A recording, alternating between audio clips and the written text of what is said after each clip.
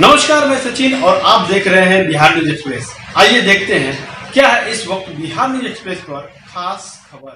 हिंदुस्तान की जनता से मैं ये बताना चाहती हूँ कि कुछ ऐसे पार्षद लोगों लोगों को चुना है जिन्होंने शहर का विकास नहीं, विनाश चाहते हैं। सिवान की जनता से मैं ये बताना चाहती हूँ कि कुछ ऐसे पार्षद लोगों लोगों को चुना है, जिन्होंने शहर का विकास नहीं, विनाश चाहते हैं। हमेशा समस्या ही बनाए रहते हैं, हर योजना पर दबाव डालते हैं कि ये नहीं, वो नहीं, ऐसे होगा, वैसे होगा। इन लोगों का मतलब जो सोच है, बहुत ही गलत सोच है। हम लोग जितने भी नगर में काम करते हैं, ढाई साल पूरे हो गए, बिना भेदभाव के हम लोग सभी लोगों को ध्यान में रखते हुए जो भी विकास का काम हो पूरा करते हैं।